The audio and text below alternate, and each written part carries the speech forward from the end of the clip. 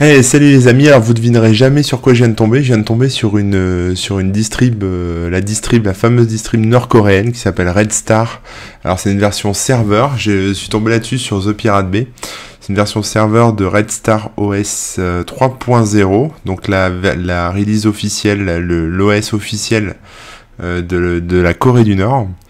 Et donc, euh, donc euh, ce que je peux lire, c'est que c'est des petites ISO, des, petits trucs comme ça à tester. Donc je me suis dit, ça serait une bonne idée de tester ça avec vous. Un peu en live. Donc ce qu'on va faire, c'est, j'ai déjà triché, hein, je l'ai déjà téléchargé. On va créer une nouvelle machine virtuelle et puis on va se marrer un peu. Donc je l'appelle Red Star. Donc il me détecte que c'est un Linux Red Hat, euh, mais sur le, le de, The Pirate Bay, dit bien qu'il y a une version x64 qui existe, mais que celle-là, c'est la version 32 bits. Donc on va rester là-dessus. Euh, alors, alors, alors, VirtualBox, c'est parti. Suivant. On va lui mettre un petit peu de mémoire. On va lui mettre, voilà. Créer un disque. On va voir ce que ça donne. Je me dis, c'est quand même assez hallucinant. Euh, d'avoir un OS national. Hein. Je pense que ça pourrait même donner des idées, des idées à Arnaud Montebourg. Euh, donc Red Star est créé. Je vais créer le système de stockage ici. Euh, et je vais faire pointeur. Il y a deux ISO en fait. Il y a boot.iso et il y a rss3.iso. Euh, en fait, il faut démarrer sur le boot et après enchaîner sur rss3. Le boot, ça permet de bypasser en fait la, partie, euh, euh, numéro de série, car oui, il y a un numéro de série. Alors, alors, voilà, donc là on est sur le premier écran, donc comme vous pouvez le voir, tout est écrit en nord-coréen. C'est pas gagné. au niveau du numéro de série, je crois qu'on peut mettre un peu tout ce qu'on veut.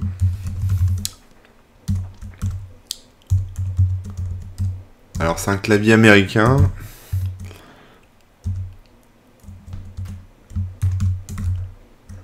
Un clavier américain. allez hop. On met n'importe quoi.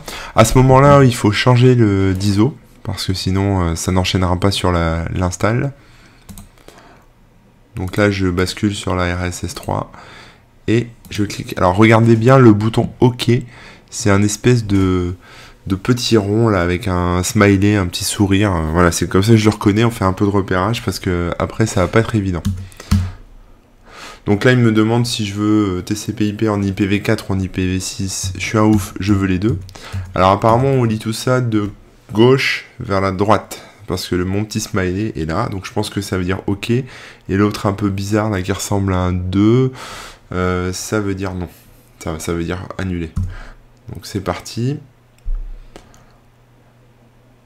Alors là, je pense qu'il est en train de configurer des trucs. On va voir ça.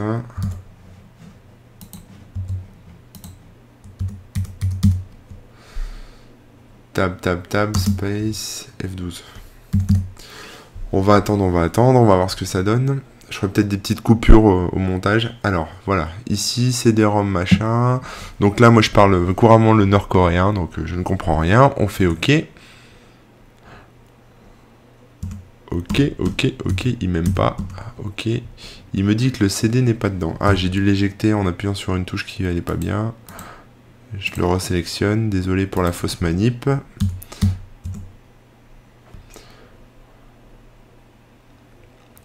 Voilà, c'est parti. Alors là, on me demande un mot de passe, je présume.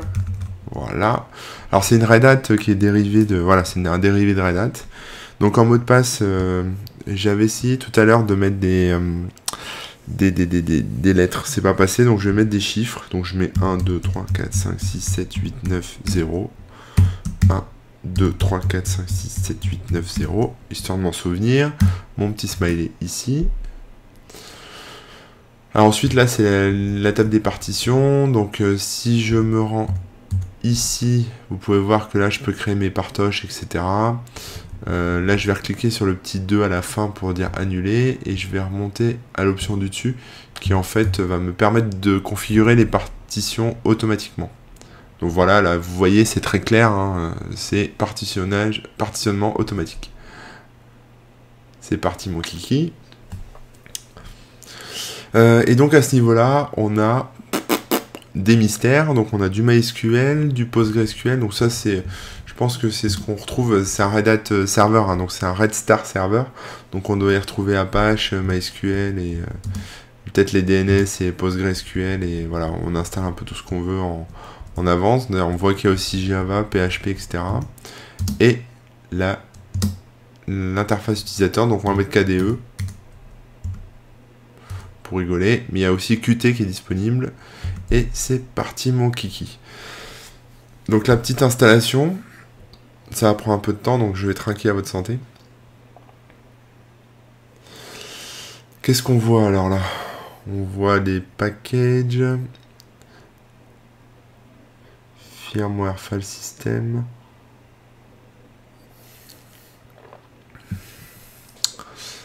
Euh, bon, ça je vais le passer un peu en accéléré.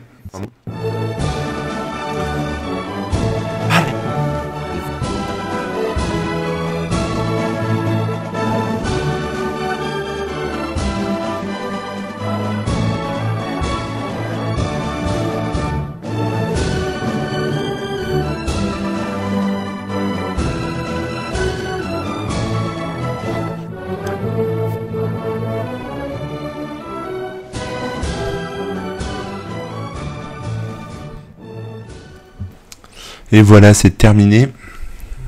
Donc là, voilà, installation terminée, écrit en nord-coréen. Ok. Et je pense qu'on est parti pour le reboot. Voilà, ça relance VirtualBox, ça relance la distrib. Donc là, on a un beau, un beau logo qui doit sûrement vouloir dire euh, Red Star. Un logo rouge. Couleur préférée de Kim Jong-un. Et nous y voilà. Donc voilà, donc là, on a des petits ralentissements au niveau de la souris, mais je pense que c'est la, machine virtuelle qui, fait ça. On clique sur Login, route, mot de passe 1, 2, 3, 4, 5, 6, 7, 8, 9, 0. Ok. Attention les yeux, waouh, waouh, waouh. Donc vous voyez là un fond d'écran absolument formidable. Est-ce qu'on en a d'autres? Non, même pas. On a que celui-là et celui-là. Quelle tristesse. Je pensais qu'on aurait des fonds d'écran euh, du père de la nation, mais comme c'est une version serveur, il se peut que sur la version desktop, euh, on ait tout ça.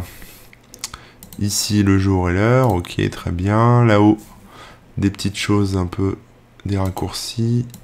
D'accord. English trigger. Wow. D'accord. Bon, ça, je sais pas trop ce que c'est. Alors, je suis pas familier de Red Hat, hein, donc euh, je connais pas euh, certaines choses là-dedans. La doc ici. Voilà, donc la doc qui va être très utile, hein, comme vous pouvez le voir. Effectivement, c'est beaucoup plus, beaucoup plus clair comme ça. Euh, donc on retrouve le système de fichiers avec la partage route, l'espace route, install.log. Donc là, c'est tous les packages installés. Alors j'ai vu passer Firefox euh, tout à l'heure dedans. On va faire une petite recherche. Je pense que c'est ça, recherche, non? Waouh, waouh, waouh, waouh, On va essayer ça. CTRL A. Non, CTRL A. Je suis con, c'est sélectionné. CTRL S. Ça doit être ça. Search. Euh, non. Manifestement, ce n'est pas ça. Bon, vous voyez, c'est pas super ça. Oh, j'avais pas vu, il y a une petite icône ici, quel. Euh, on va taper Firefox. Donc là, voilà, on voit bien que Firefox, c'est une version 10. Donc c'est pas la toute dernière, donc euh, voilà, elle est un peu, un peu out of date. Alors, euh, tout sauver, non. Ok, nous y voilà. Donc, j'ai ma, ma partoche, j'ai alors désolé, hein, la souris est un peu lente à réagir. Alors, au niveau des softs, qu'est-ce qu'on a au niveau des softs? On a donc Firefox ici, qui a été complètement customisé avec l'icône Red Star, etc. Alors soit il y a un, truc qui se passe euh, et les mecs euh, ont pris le contrôle de la machine virtuelle, soit vraiment ça lag à mort. Ok, donc là on voit bien que c'est Firefox Red Star, Red Star Navigateur 10.0.12. On va voir si ça, ça fonctionne. Alors c'est en clavier américain. Ouais, ça, ça fonctionne. C'est magnifique. Je vais virer ça là. Ok. Bon, donc ça c'est un Firefox, rien de spécial. Autrement, c'est une distrib serveur, donc effectivement, on a là le terminal. Euh, je ne sais pas comment on met à jour des paquets, des paquets sous, euh, Red Hat, mais euh, est-ce que Nano ça fonctionne? Non. Vieille.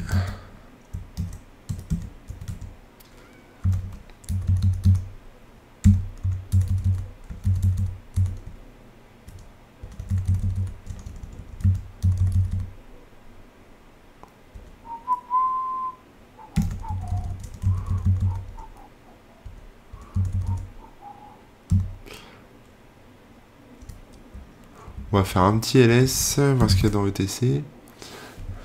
Donc là, voilà, on retrouve à peu près la même chose, enfin on retrouve la même chose que ce qu'il y a dans une Red Hat euh, classique, je pense. Alors après, je vais pas faire de reverse, euh, je vais pas faire d'analyse plus poussée. Hein. C'est juste pour vous montrer, pour qu'on se marre un peu. Voilà. En tout cas, éditeur de texte. Bon, bah bref, après c'est un, c'est un euh, c'est une Red Hat classique. Il n'y a pas vraiment de choses étranges. Ça, c'est un message d'insulte. Je l'ai reconnu. Et voilà. Bon, bref, peu importe. De toute façon, ne parlant pas la langue, c'est pas forcément simple. Et comme c'est une version serveur, c'est forcément limité. Voilà. Mais bon, donc si ça vous branche euh, de vous lancer là-dedans et de vous, euh, installer un petit, euh, un Red Star pour héberger votre site web, peu importe, ça peut être assez rigolo. D'ailleurs, de, laisser des, empreintes de serveurs qui soient du Red Star.